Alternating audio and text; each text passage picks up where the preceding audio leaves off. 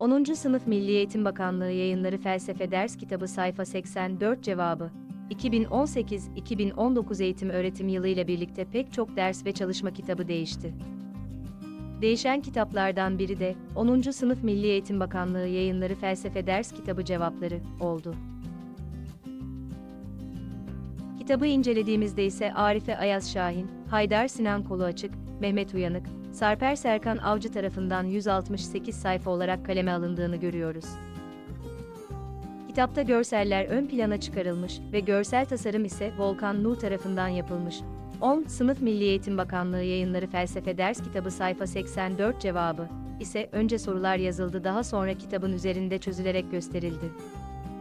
Önce sorular hemen ardından ise cevaplar mevcuttur. Sorular 10. Sınıf Milli Eğitim Bakanlığı Yayınları Felsefe Ders Kitabı sayfa 84 cevabı 1. Bu bilgiler, bilginin kaynağına yönelik hangi görüş veya görüşlere kanıt olabilir? Açıklayınız. Cevap, bilginin ana kaynağı olarak akıl yürütme ve düşünceyi görenler, akılcılar, rasyonalistler, duyu, gözlem veya deneyler üzerinde duranlara ise deneyciler, ampiristler denir. Bu akımların isimleri ise akılcılık, rasyonalizm ve deneycilik, ampirizm olarak adlandırılır. Akılcı filozoflardan bazıları Platon, Descartes, Spinoza ve Leibniz, deneyci filozofların bazıları ise Epikuros, Locke, Hume, Condillac ve Comte gibi isimlerdir.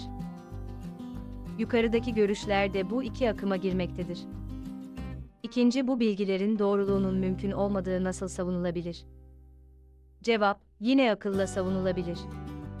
Deney ve gözlem sonucu yapacağımız tez hipotez çıkarımlarıyla kanıtlarsak doğru olmadıklarını bir başkası bizim düşüncemizi çürütene kadar bu bilgilerin yanlışlığını kanıtlamış oluruz.